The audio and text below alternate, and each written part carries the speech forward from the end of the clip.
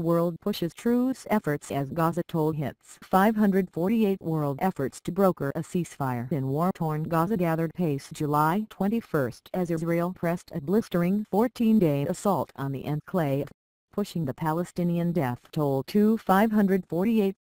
As Washington and the United Nations demanded an immediate ceasefire in the battered Palestinian enclave, there was no let-up in the Israeli offensive with another 31 Gazans killed in a series of strikes and Israel said troops killed 10 Hamas militants after they sneaked over the border through a network of tunnels that the army has been trying to destroy in an intensive four-day ground operation.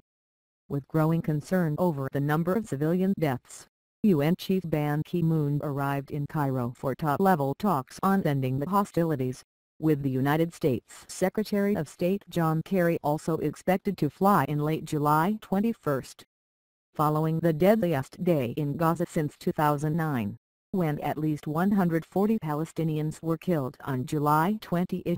Medics pulled another 68 bodies from the rubble early July 21. Emergency Services spokesman Ashraf al-Qudra said. 31 others were killed in a series of fresh strikes across the Gaza Strip. In the latest bloodshed, tank shelling on a hospital in Deir al-Balah in central Gaza killed four people, and a family of nine was killed in the southern city of Al-Rafah seven of them children, Qudra said.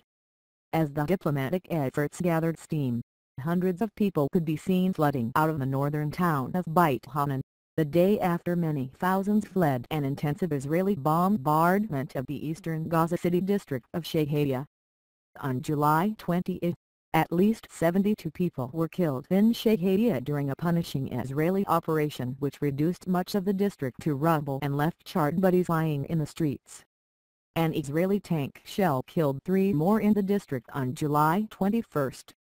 Militants infiltrate Israel and a family of nine was killed in the southern city of Al-Rafah seven of them children, he said. As the diplomatic efforts gathered steam, hundreds of people could be seen flooding out of the northern town of Beit Hanun, the day after many thousands fled an intensive Israeli bombardment of the eastern district of Shejaiya. On July 28, at least 72 people were killed in Shejaiya during a punishing Israeli operation which reduced much of the district to rubble and left charred bodies lying in the streets. Since the Israeli operation began on July 8, huge numbers of Gazans have fled their homes, with more than 85,000 people taking shelter in 67 schools run by UNRWA, the UN Agency for Palestinian Refugees, a spokesman said. By Monday morning, the UN school on the outskirts of Shejaiya was packed to overflowing with people seeking shelter, many sleeping in the corridors, an AFP correspondent said. And in Gaza City's Shifa hospital, Several families could be seen sleeping in gardens in the hope they would be safe from the bombing. Meanwhile, in southern Israel, the military said troops had killed more than 10 Hamas militants who managed to cross the border through tunnels. It said there were two terrorist squads, one of which was hit by an airstrike military radio said the second squad engaged in a fierce gun battle with troops in which several soldiers were wounded, without giving further details. On July 28 13 Israeli soldiers were killed inside Gaza, raising to 18 the total number of soldiers killed since a ground operation began late on July 18. That represented the Army's heaviest losses in eight years and left Israel in mourning. The attack was claimed by Hamas militants from the Ezzedine al-Qassam brigades, which said it had carried out an operation behind enemy lines in response to the massacre in Shejaiya. Late on Sunday, the Qassam brigades claimed it had captured an Israeli soldier named Shaul Aron in a report that the army said it was checking, but which Israel's UN ambassador said was untrue. Ban's truce tour as the UN chief sought to advance regional plans for a ceasefire. Kuwait's top diplomat pushed him to rally world support to end Israel's dangerous aggression in Gaza at talks in Kuwait City. Ban was expected in Cairo later on July 21, ahead of the arrival of Kerry.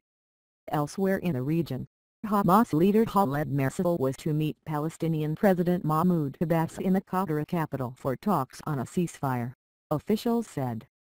So far, ceasefire proposals have been rejected by Hamas, which has laid out a long list of demands it wants Israel to agree to, including an end to its blockade of Gaza and the release of scores of prisoners.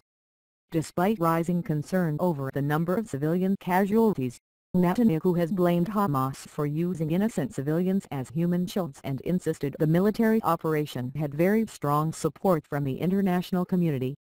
Although Israel said July 20 it was expanding its ground operation to destroy cross-border tunnels, Defense Minister Moshe Yaalon suggested the mission could be accomplished within days. There was no let-up in rocket and mortar fire by Gaza militants on July 21 with 40 hitting Israel, one striking the greater Tel Aviv area, and another 11 shot down, the army said.